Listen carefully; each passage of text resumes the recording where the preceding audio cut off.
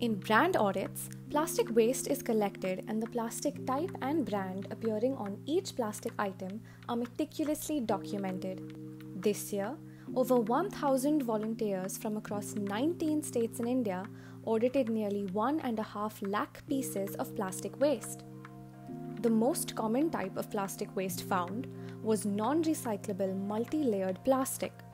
The biggest international plastic polluters of 2021 were Unilever, PepsiCo, and Coca Cola.